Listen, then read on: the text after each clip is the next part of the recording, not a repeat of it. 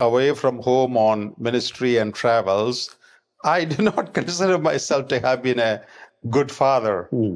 But by God's grace, uh, you know, we have had a very good relationship and friendship with all the four daughters. And uh, uh, God enlightened their minds right from their younger days, and they could also grow up to, you know, truly and one of them is in ministry. love the Lord, and one of them is in ministry. That is right. Yeah. So, so, so you have a great impact in their life as well, isn't it? That is what uh, uh, they say. Yeah. But I did not deliberately do anything to make an impact as such. But as I was serving the Lord, it pleased the Lord to, you know, influence them uh, through me. There's a proverb in English which I hate. It, say, it says, behind every successful man, there's a woman. It shouldn't be behind, it should be beside, isn't it? That's right. I think we have to rephrase that uh, proverb. That's right. beside every successful man, there is a woman. The woman in your life, Mrs. Betty Kurian, I'm sure she has a great influence and impact in your life. Today, what evangelist John Kurian is because of, you know, a lady by the name uh, Betty Kurian. Would you say something about your wife? Yes, uh, uh, what you said is absolutely true. I say amen to it. Uh, one thing uh, that I can look back and uh, thank God for is the fact that I married uh, at the center of God's will.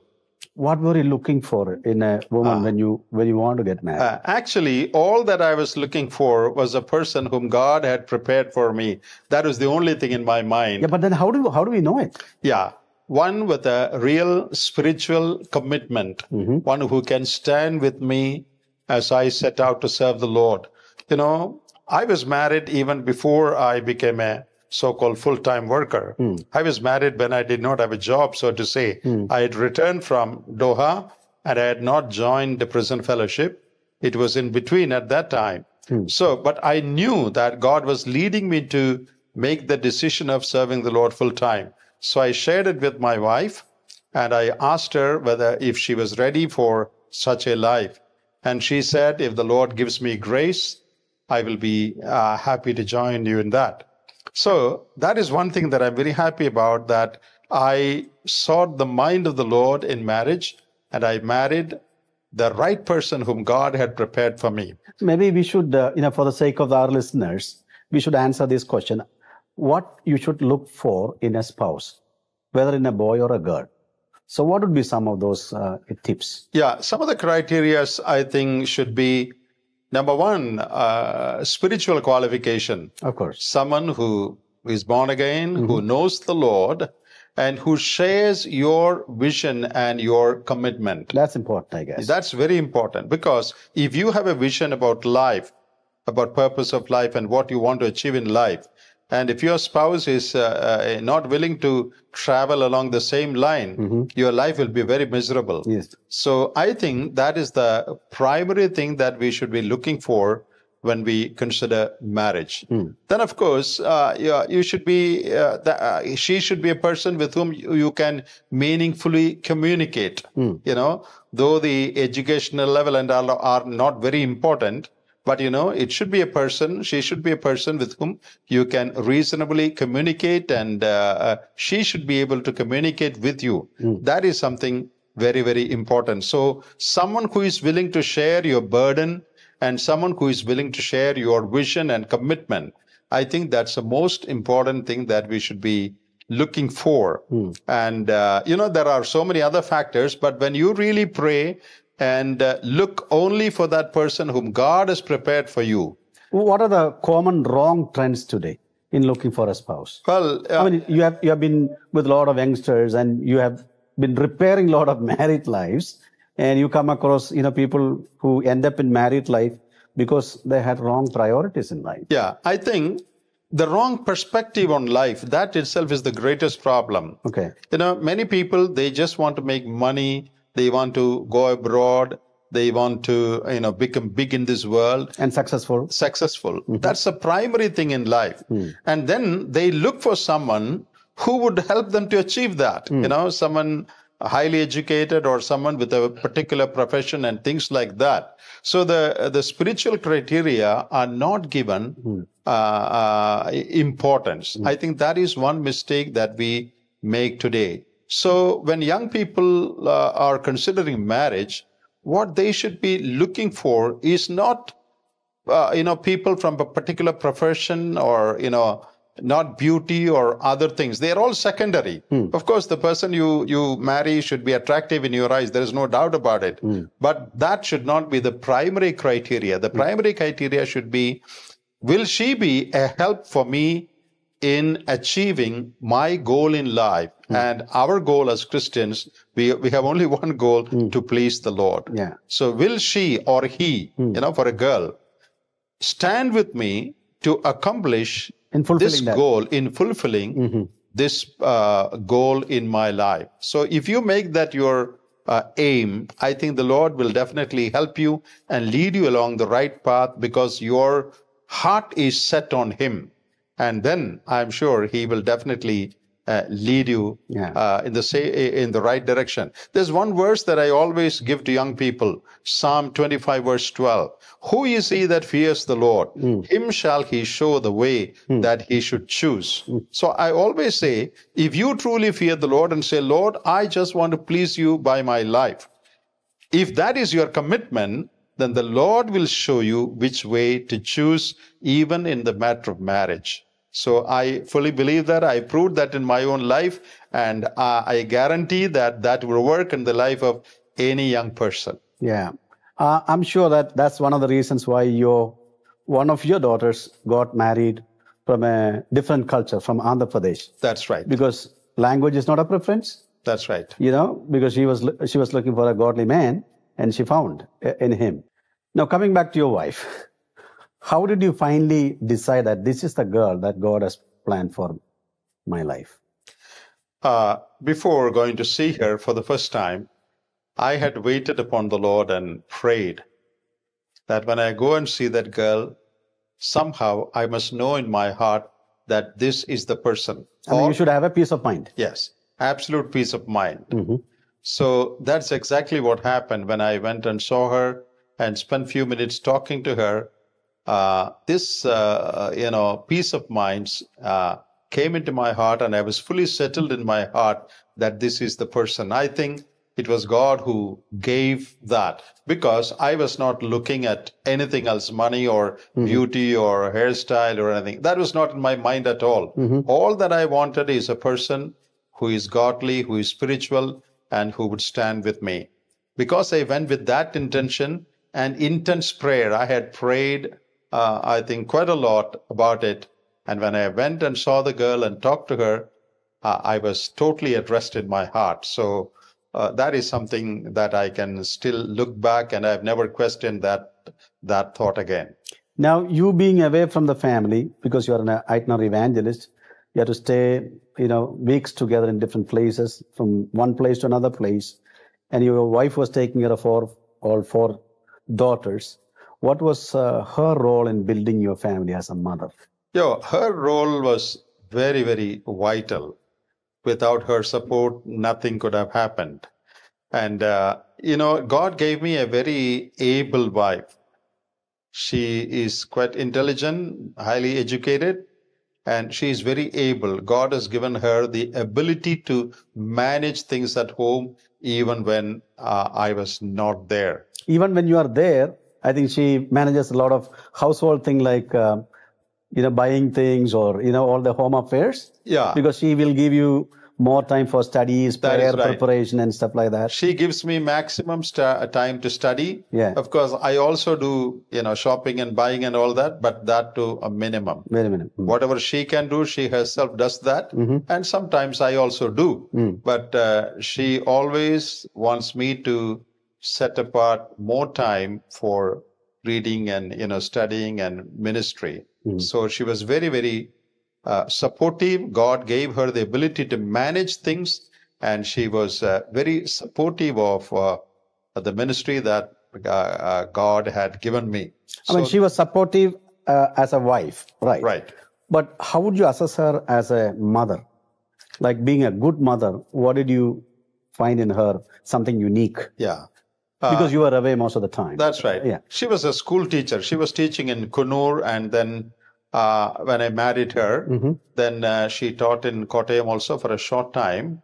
And uh, we had already come to this understanding that once we have children, Mm. uh, she will not work. Mm. So uh, later, she resigned her job when we had children. And then she has never gone back to a job, though there were a lot of possibilities for her to go back. Mhm. So the advantage was that she was always ava- available to the children at home. Mhm. Even when I was not available, as I said earlier, I, I, I feel guilty sometimes that I have not spent as much time as I should have spent with them. But my wife was always available at home in helping them spiritually, in counseling them, and also helping them with their studies Mm. and their extracurricular act- activities. So that was the greatest advantage that we got because she left her uh, uh, secular job. Um, you know, you talked about how she is helpful in giving you time for your private studies, prayer, preparation, etc. How she is a spiritual influence for you? What what spiritual quality of hers influenced you?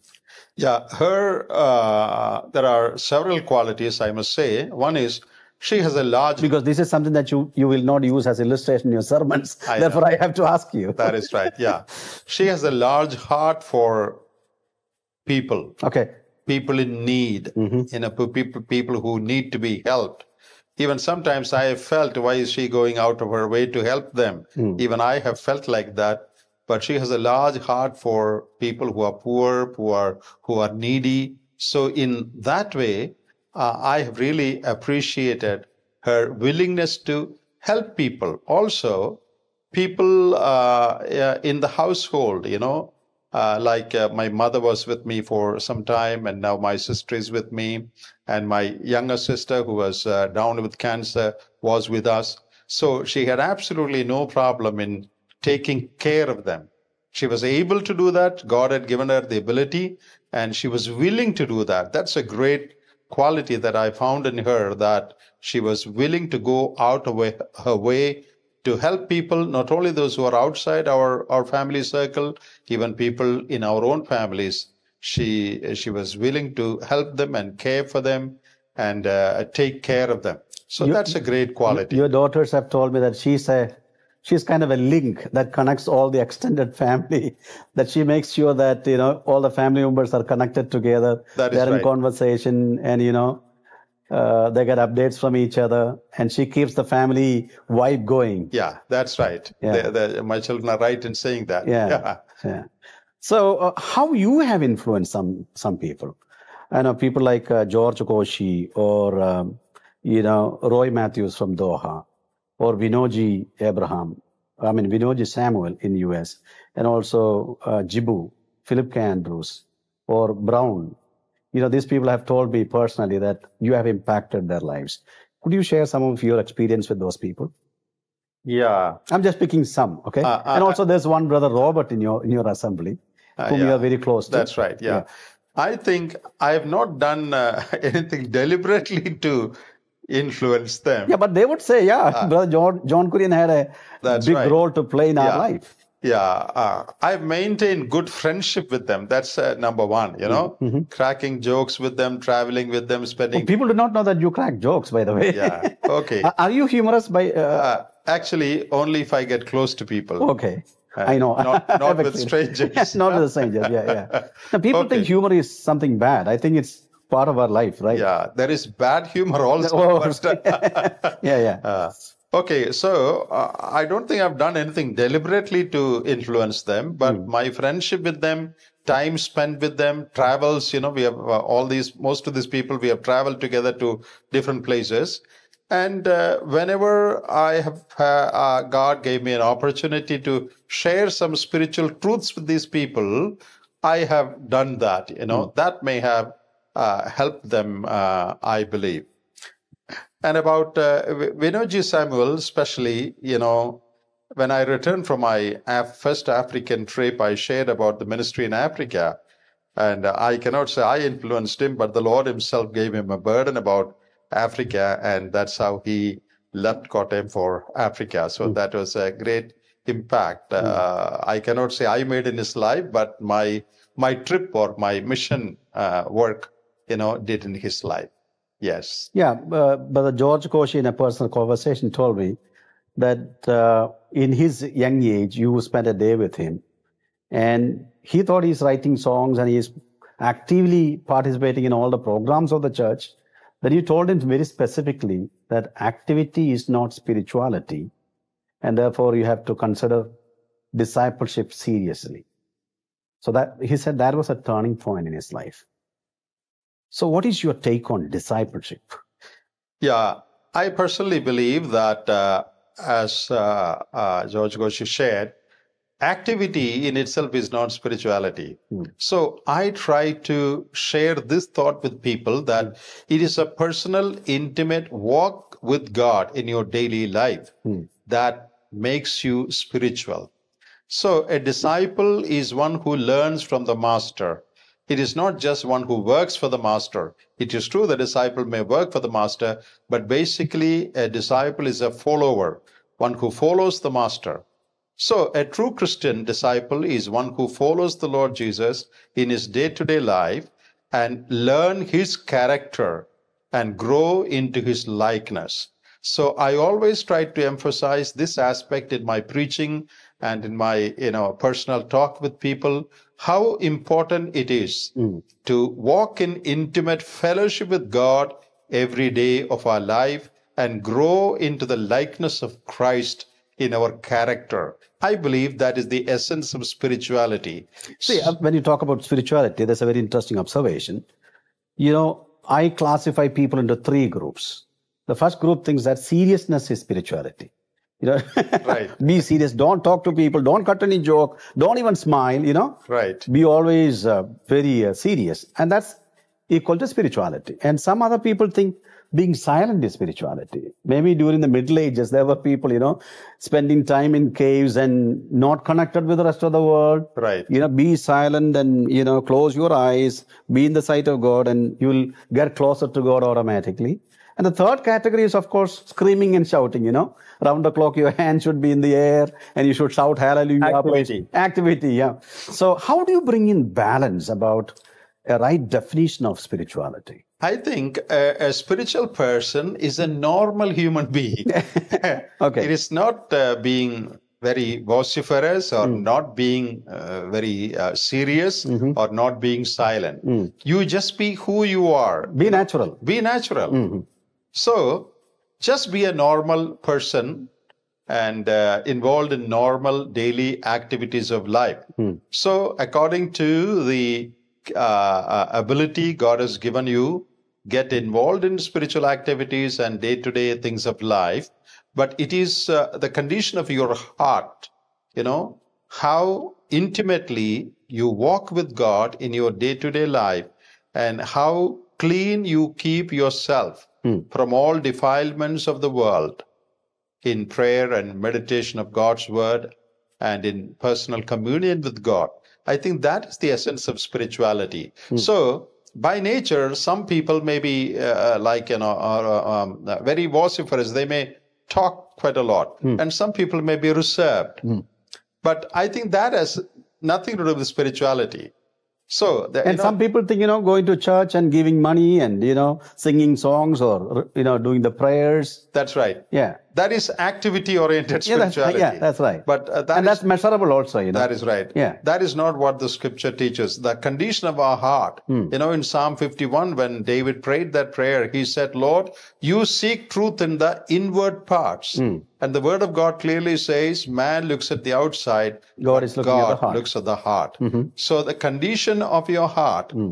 In, uh, Whether it is tuned with God. that's right. Mm-hmm. In Revelation chapter 2, when the Lord wrote that letter to the church at Ephesus, the Lord said, I appreciate your doctrinal understanding, your activity, but I have something against you. You have left your first love. That means the condition of your heart. So the condition of your heart is more important than the activity of your hand. So that is something that people should realize. That is what spirituality is all about. Or in other words, you- uh, it, it, know, spirituality is not churchianity. no, Yeah, no, it's yeah. totally, to- totally different. Okay. Yeah, So if if you look at the church in general, What has happened to our churches? I think one major problem with present day Christianity is the present day Christianity does not affect your life. Hmm. You know, as you read in 2 Timothy chapter 3, one of the marks of the end times is form of godliness without its power. Hmm, hmm. I believe that power is the power to transform lives. True godliness will always have the power to change your life, transform your life. Hmm. So the greatest problem with present day churchianity or Christianity is there is a sort of Christianity that does not affect your life. Hmm. That is fake. That hmm. is what we understand from that verse. Mm-hmm. Form of godliness is there, hmm. but it doesn't change your life. Mm-hmm. So a Christianity that transforms your life, that influences your character, is the right kind of Christianity according to the word of God. So uh, that is what should be emphasized today. It is not just doctrine, but doctrine plus practical life that makes a true Christian. Not just what you believe, but whether you practice what you believe. Not that we are, uh, we need to become, you know, uh, perfect. That's not possible. God doesn't expect us to be per- perfect overnight, Yeah. but God wants us to be honest all the time. So, in our day to day life, put into practice what you believe and what you preach. And in the areas of your failure, you confess it to God, you cry out for grace and God's help. And with God's help, you can have a developing Christian character. That's an ongoing process in our, our Christian life. So, the present day problem with Christianity and with the churches is that you know we profess a lot and we fail to put those things into Practice. practice christianity that does not affect our daily lives Mm-hmm. i think in my estimate that's the greatest problem I think that's a great point that you have raised. Uh, you have been to maybe over 30 countries and interacted with people of different cultures, worshiped with uh, different language group and cultural groups, and you have seen how what is Christian life in different parts of the globe. yes And in comparison to those assemblies, do we have anything to pick and choose from them, saying that, hey, that's good. Maybe we should adapt this. Or there, this particular practice is good. Or we do something differently. Maybe we should adapt that. Is there anything that you have come across? Yeah, I found uh, many good things in uh, the lives of believers in, in, in other countries. See, some of the countries uh, where I've been, like Korea and Japan, uh, one thing that I've noticed there that the the the elders are very very responsible. They love the church, and some of them stay overnight Saturday in the church uh, to prepare themselves for the next day, uh, you know, to, to prepare the teaching or the message. So they take church very seriously. It is not like a side business or Okay. a little bit of time that you give to your church on Sunday. No, that is one thing that I have noticed in some of those countries. uh, Many of the elders are really, really serious about their church.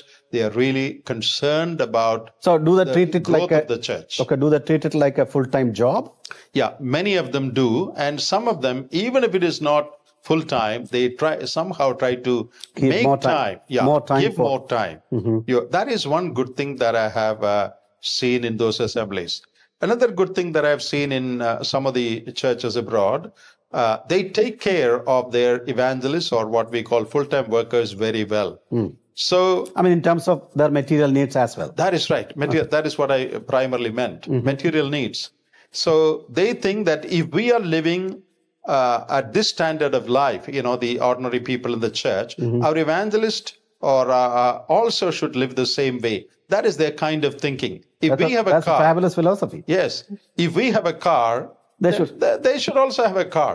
It is not that because he is an evangelist, he should uh, just use a cycle only. They don't think like that. So they support their missionaries abroad or local evangelists uh, uh, in a very, very good way.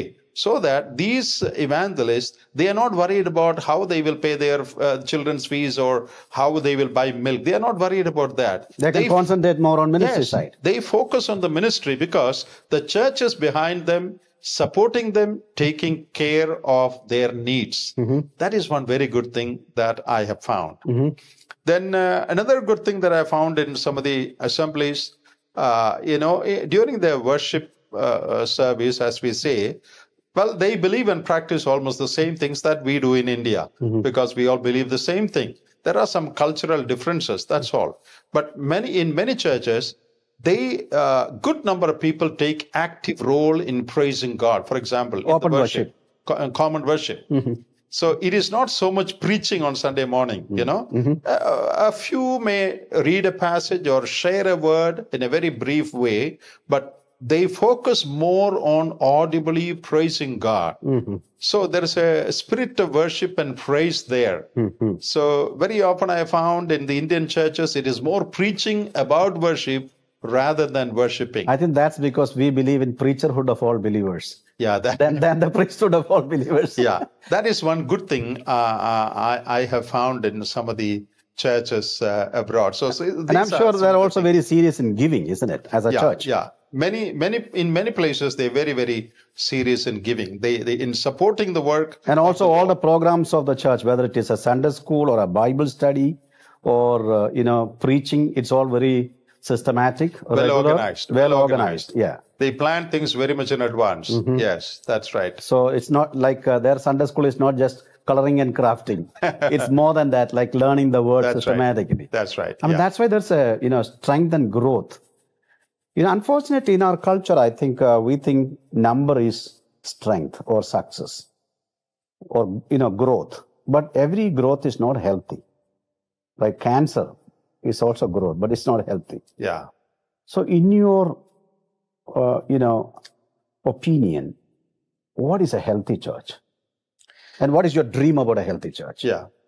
Uh, some of the factors about a healthy church is see, I'm not against numbers. We want numbers. We are not that, we, we, we don't say minor uh, small numbers are always good. We want numbers. But about a healthy church, when we talk about numbers, there should be quality. Hmm.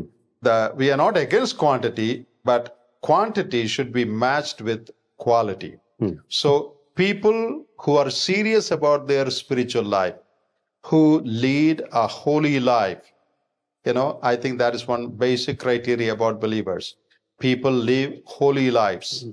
and they are serious about their spiritual life and they have a commitment to their, their local assembly and a church where people love one another and care for one another. Hmm. A church where the elders take good care of the flock hmm. and where the flock honor and respect the elders. Hmm. So these are uh, some of the things, you know, that I can think about a healthy church. And I have seen this working in, in some other countries in the world. In India also, there may be a, a few churches like this, but in many other countries, some other countries, I've seen this uh, really practically working.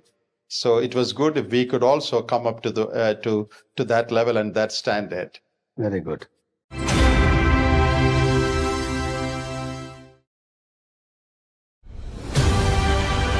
Many preachers they don't address issues that are relevant to sisters. I think the preachers and teachers should explain that to sisters that they also have a great role in the building of the church of God. So I try to read what they have written and uh, try to uh, learn the meaning of those words, any special word used there, and then try to get the message.